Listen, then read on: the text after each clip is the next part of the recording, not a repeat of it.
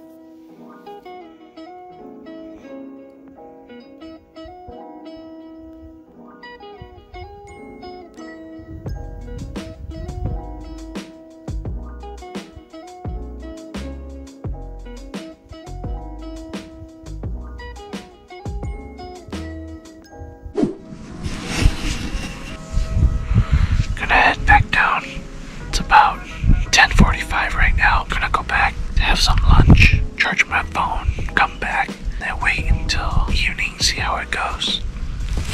Stay tuned.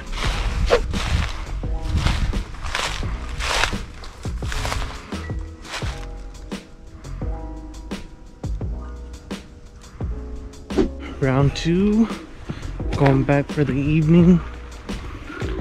Gonna see how this goes. I'm not gonna go back to my stand. I'm gonna go to a different stand now. So I'm at the second stand. Ooh, Staying here for the evening. Kinda like this spot because uh, there's more fallen timber, fallen trees. Seems like the, the deer will have more coverage and it looks like there's a bed right behind me there. Right around this area. Looks like we're, that's where they bed. They'll be coming from right behind me. Cause right over here on that on the edge of the ridge there, that's where I saw deer and uh, calves during squirrel opener when I sat here for squirrels. I saw a deer coming by down there. Hopefully it'll be coming here. I'll be I'll be able to get one tonight. Stay tuned.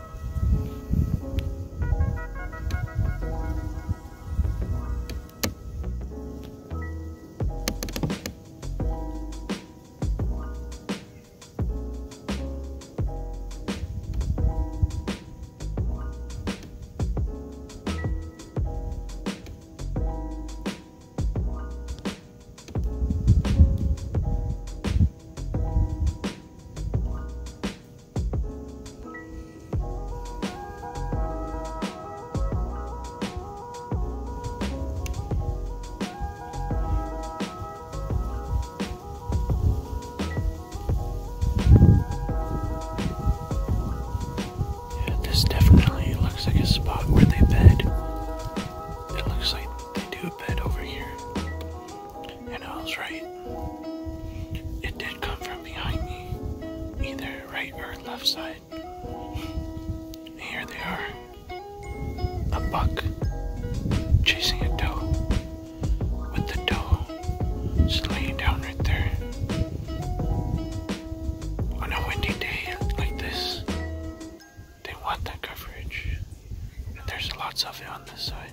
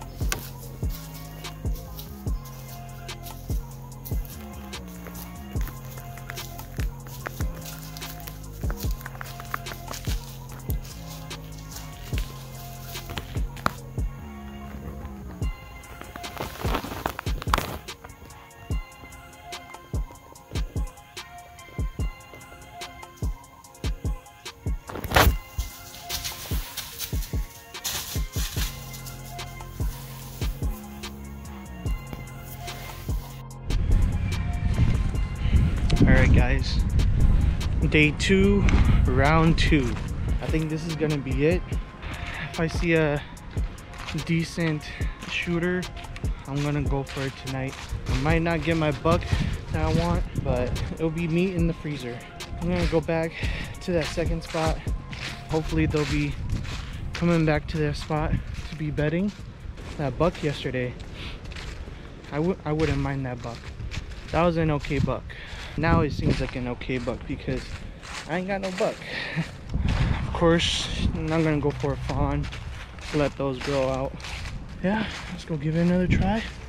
See how it goes.